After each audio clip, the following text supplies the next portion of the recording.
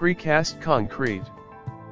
Precast concrete is a construction product produced by casting concrete in a reusable mold or form which is then cured in a controlled environment, transported to the construction site and lifted into place, tilt up. In contrast, cast-in-place concrete is poured into site-specific forms and cured on site.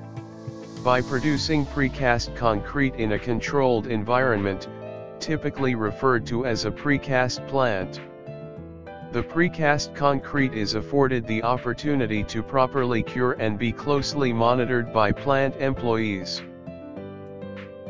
Precast concrete Precast concrete has several benefits in the repair of damaged concrete structures.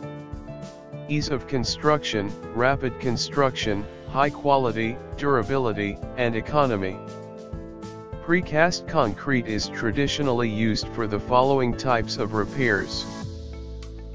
Channels. Flood walls.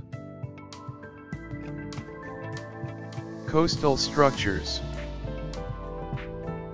Marine structures. Bridges Culverts. Tunnels. Retaining walls. Noise barriers. Highway pavement.